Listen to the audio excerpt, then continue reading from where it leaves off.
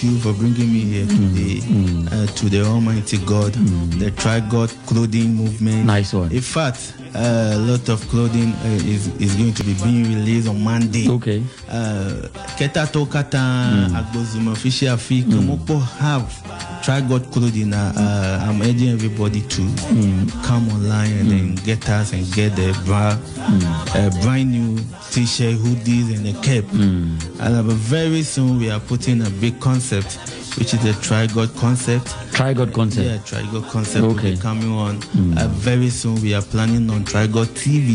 Wow. That will be uh, bringing out every artist who has who has putting Ghana on the map, but make a fall. Okay.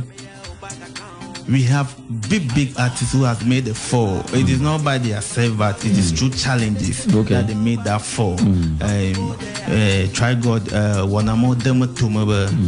Miana artists mokata will stand back on their feet and come into the music scene. Okay. Sa mother pandin ya fans okata ke ola munye they should keep supporting me. Thank you. Nama vuda padama wafe dem send me a guy.